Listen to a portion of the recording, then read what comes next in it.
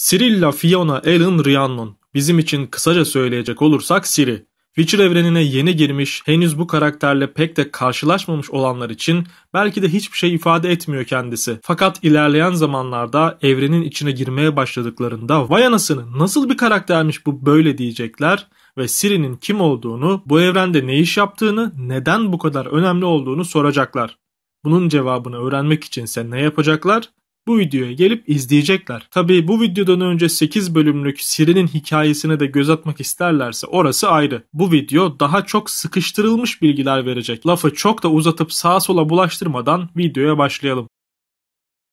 Siri neden bu kadar önemli? Bu başlığı bir anda özetlemek isterdim ama özetlenecek gibi değil. O yüzden madde içinde madde şeklinde gideceğiz. İlk maddemiz elfler için önemi. Kitapları okuyanlar yahut oyunları oynayanlar Siri'nin peşinde diyar diyar zaman zaman dolaşan bir güruhun varlığını bilirler. Bu güruh ki kıtada korku hikayelerine konuk olmuş, Harry Potter'daki ismi lazım değil gibi yer yer unutulmuş vahşi avdır. Bulalım Siri'yi de köşede balat ayısı gibi oynatalım diye aramıyorlar elbette. Vahşi avın yani elflerin bunun için çok önemli bir motivasyon kaynağı var. Şöyle ki ırkçının önde giden elfler gittikleri dünyada gül gibi geçinmek istiyorlar. Bu yüzden de başka ırklardan köleler topluyorlar. Tabii bunu yapabilmek içinse başka diyarlara açılan bir kapı kullanıyorlar. Bu kapının açılmasına ön ayak olansa unicornlar. Vaktinde unicornları dolandırıp bu kapıyı açıyorlar ve böylece rahata eriyorlar. Yıllar içinde unicornlar duruma uyanıyor ve kapıyı kapatıyor. Böylelikle elflerin rahatına zeval gelmiş oluyor ve bir nesil boyunca onlarca insan neslini tüketmek zorunda kalıyorlar. Ne yapıp edip bu kapıyı ardına kadar açmanın peşine düşüyorlar. Peki bu kapının kilidi nerede? Tam olarak Cyrilla Fiona Ellen Rhiannon'da. Çünkü o bir kadim kan ve dünyalar arası seyahat edebiliyor. Başlıyorlar kül saçlı kızın peşinden koşturmaya.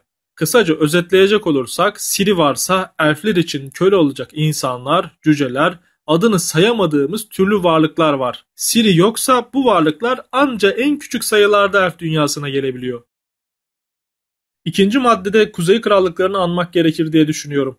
Siri herkes için önemli tabii ama Kuzey Krallıkları bu kızın peşinde ayrı bir özenle koşuyor ve hatta yer yer öldürmek isteyenler dahi çıkıyor. Çünkü kendisi Sintra Krallığı'nın yaşayan tek varisi. Nilfgaard kuzeye topyekün savaş açıp açıkçası bu savaşta ortalığın içinden geçince Sintra düşüyor, Kuzey Krallıkları ise buhrana sürükleniyor. Ha işgal edildik ha edileceğiz derken bir yandan da Nilfgaard'la aralarında bir hat gibi duran Sintra'nın durumunu konuşuyorlar güçlü yahut ellerinde bulundurdukları bir Sintra kuzeyin refahı demek. Artık ne kadar refah olursa sonuçta kıtanın krallıkları birbirini yiyip tokatlayıp durmuş. Bunun yanında Sintra ile gelen bir özellik daha var. Hani RPG oynarken bir yetenek açarsınız ve o yetenek bir başka yeteneğin açılmasına sebep olur ya. İşte Sintra ile Skelly arasında böyle bir durum var. Denizlerde güçlü mü olmak istiyorsun? O zaman Sintra yahut Skellige ile dost olacaksın.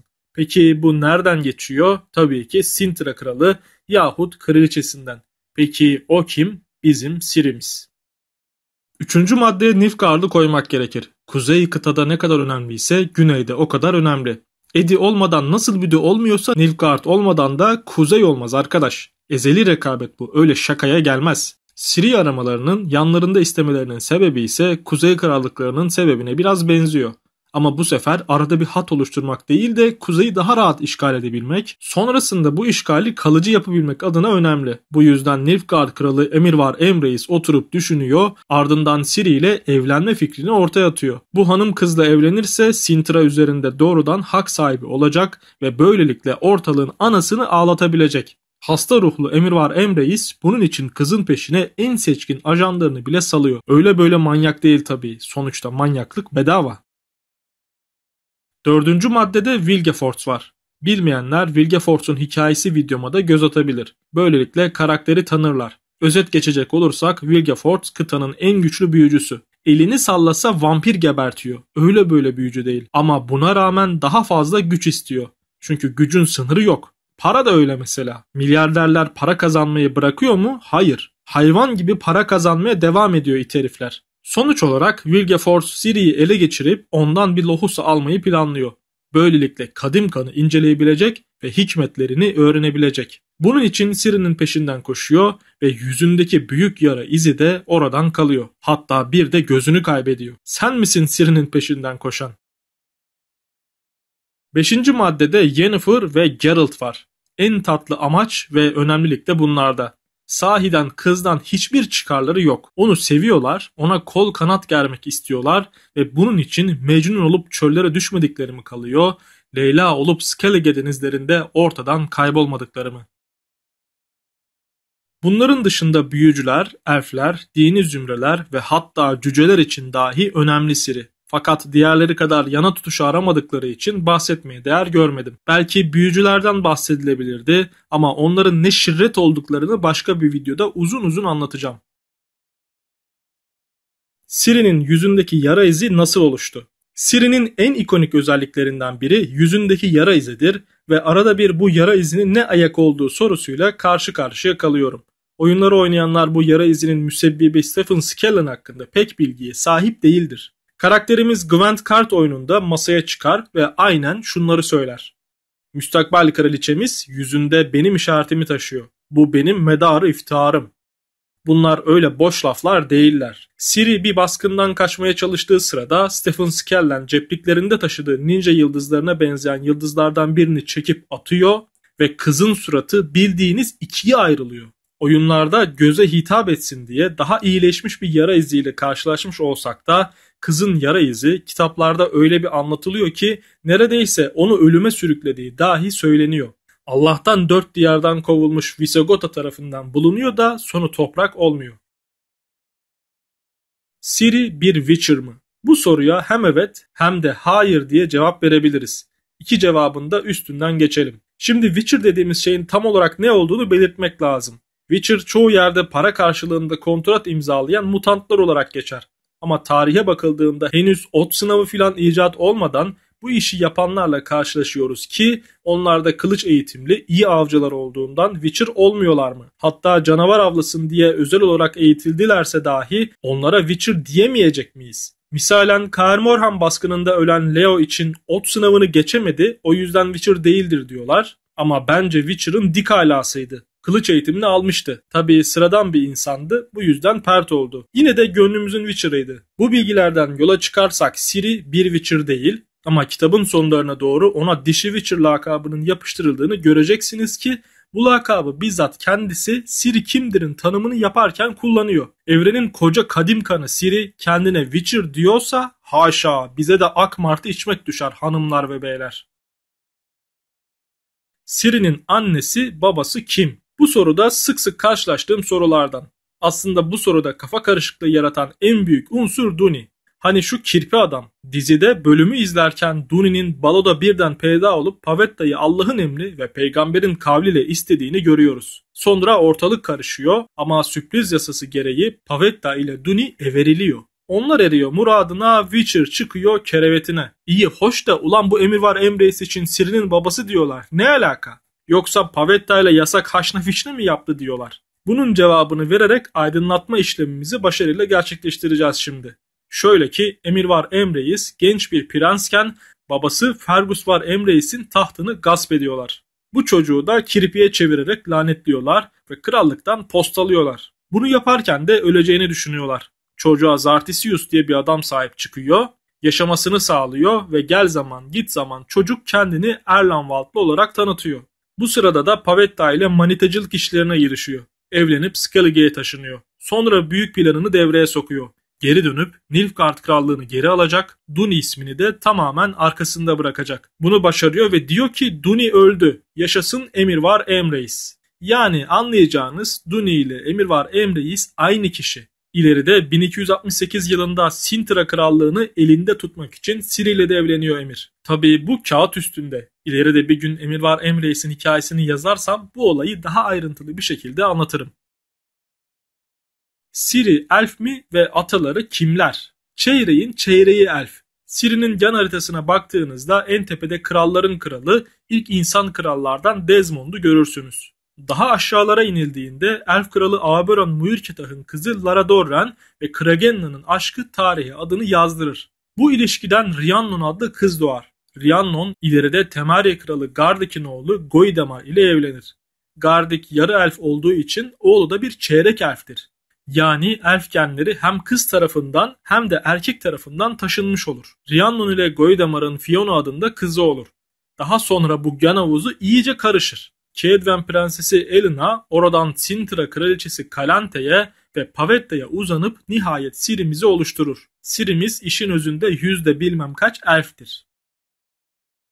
Siri'ye kim nasıl seslenir? Siri Evliya Çelebi gibi oradan oraya göç etmiş, bu sırada epey isim almış ve hatta kendine isim vermiş bir karakter olduğu için yer yer karmaşaya sebebiyet verebilir. O yüzden hızlıca isimlerinin özetini geçelim. 1. Siri Yakın çevresi genelde ona bu şekilde seslenir ve kendisi de kendini tanıtırken bu kısaltmayı kullanmayı sever. 2. Falka Bu yakıştırma Sıçanlar adlı küçük örgütün içindeyken kendisine layık gördüğü bir yakıştırmadır. Vaktinde Falka adında bir kadın büyük isyanlara, kıyımlara sebep olmuştur ve Siri de içine düştüğü durumda kendisini Falka gibi hissetmiş, böylece Falka ismini kullanmıştır. Saldırıda bulundukları köylerde Siri'yi Falka olarak tanırlar. Hatta bütün olaylar bitip Siri sıçanların mezar yerini sormak için geri döndüğünde ona Falka diye seslenmişlerdir. 3. Yavru Aslan Sintra'nın aslanla muhteşem bir ilişkisi vardır. Kralına aslan, kraliçesine dişi aslan derler. Haliyle bunların yavrusu olan Siri'ye de yavru aslan lakabı çat diye yapıştırılmıştır. 4. Zirael Elfçe kırlangıç demektir ve elfler Siri'ye kırlangıç derler. Thor Zirael diye başka dünyalara açılan bir geçit, aynı isimli 200 yıllık nom yapımı bir kılıç hatta zırh dahi vardır. 5. Ashen One Saçları kül renginde olduğu için bu yakıştırmanın sıklıkla yapıldığını görürsünüz. 6. Çirkin olan Yüzündeki yara izinden sonra böyle bir yakıştırma gelmiştir. Videoda daha önce de bahsettiğim gibi oyunlardaki gibi değil Siri. Sıkıntılı, günahkar bir suratı var. 7. Uzay ve zamanın hanımı. Kadim kan olduğu için uzayda ve zamanda hareket edebiliyor. Haliyle böyle bir lakabın yapıştırılması da gayet doğal oluyor. Siri'nin kedi madalyonu nereden geliyor? Bazı görsellerde Siri'nin kılıcına bağlı yahut boynunda sallanan kedi madalyonu görürsünüz. Haliyle sorular da buradan çıkar. Ne işi var madalyonun Siri'de? Şöyle ki kelle avcısı Leo Bonhart daha önce avladığı Witcher'lardan 3 adet madalyon almıştır. Bunlar kurt madalyonu, kedi madalyonu ve griffin madalyonudur. Tabi Stiga kalesinde dönen meşhur duelloda Siri kelle avcısının içinden geçince madalyonlar da bir ganimet gibi Siri'nin eline geçmiştir. Siri üçünü kendime alıp ne yapayım diye düşünmüş ve kurt madalyonunu Geralt'a, Griffin'i Yennefer'a vermiş, kedi madalyonunu da kendisine saklamıştır. Siri büyü yapabiliyor mu? Aslında Siri'nin büyü yeteneği var. Hatta bu yetenek ilk önce Kaer Morhen'de Tris Merigold tarafından keşfediliyor ve çok güçlü bulunduğu için bu işlerde daha vakıf birine yönlendiriliyor. Siri apar topar Melitele Tapınağı'nın yolunu tutuyor ve burada Yennefer'ın gözlemlerine bırakılıyor. Bir takım odaklanma eğitimlerini alan Siri büyü yapma konusunda defalarca başarısız olsa da nihayetinde bir şeyler kapıyor. Siri'nin ilerleyen zamanlarda çölde kendisine ışık yaratmak olsun, bir unicorn'un hayatını kurtarmak olsun çeşitli büyüler yaptığını görüyoruz. Ama tam anlamıyla büyülere hakim sayılmaz. Zira büyülere hakim olmak öyle kolay iş değildir. Yıllar alır. Büyüler ve büyücüler hakkında daha fazla bilgi arıyorsanız bunun hakkında da bir video yaptım. Hemen arayıp bulabilirsiniz. Evet dostlar Siri hakkında genel itibariyle merak edilenler için bir video çekmek istiyordum ne zamandır. Video bugüne kısmetmiş. Serinin fanıysanız tabii ki bunların birçoğunu biliyorsunuzdur. Ama hem yeni gelenler için hem de topluca bilgileri tekrardan dinlemek isteyenler için umarım güzel bir video olmuştur. Kanalı maddi olarak ayakta tutan üyelerime teşekkür ediyorum. Bir sonraki videoda görüşmek üzere, hoşçakalın.